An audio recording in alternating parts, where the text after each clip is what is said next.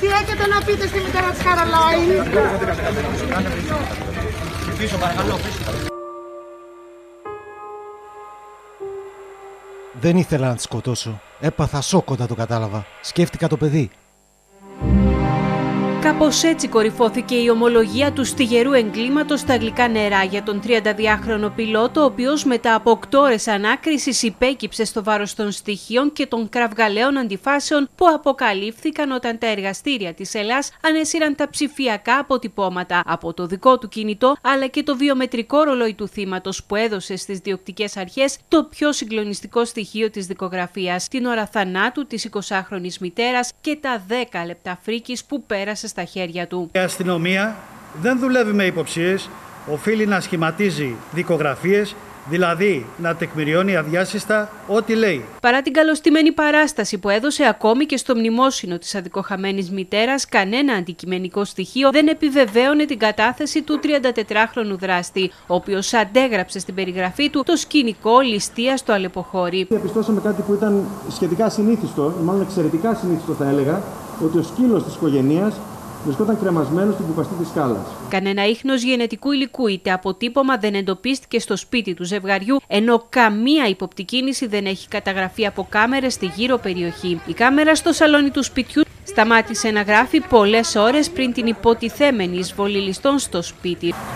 Κατά την εξέταση των ψηφιακών πιστηρίων, επίσης έγινε άμεσα αντιληπτό από το εξειδικευμένο προσωπικό μας ότι βάσει των στοιχείων που προέκυπταν υπήρχαν έντονες αναντιστοιχίες.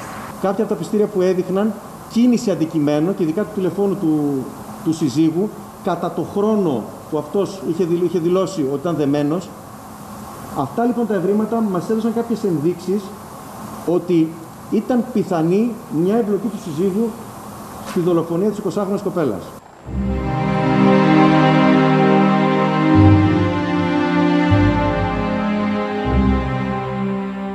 Στις 12.35 η κάμερα στο σαλόνι κατέγραψε το τελευταίο πλάνο. Ο 32χρονος φαίνεται να κάθεται στον καναπέ αγκαλιά με την 11μηνη κόρη του, πληκτρολογώντας νευρικά στο κινητό, αφού όπως αποδείχτηκε αντάλλασε μηνύματα με την Καρολάιν που βρισκόταν στη σοφίτα, εχμηρά και σκληρά. Στη 1 και 20 ο πιλότος αφαιρεί την κάρτα μνήμης από το καταγραφικό.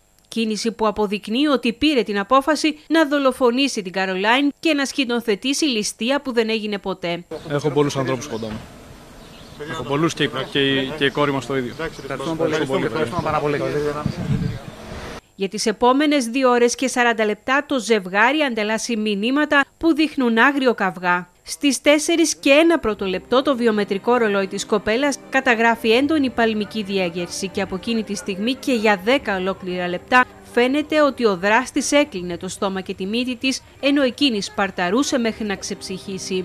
Στις 4 και 11 τα ξημερώματα το ρολόι καταγράφει το τελευταίο ίχνο ζωής της άτυχης μητέρας. Αυτό γρήγορα οδήγησε στην ομολογία της πράξης του, την οποία απέδωσε σε ένα διαπληκτισμό που είχαν με τη σύζυγό του.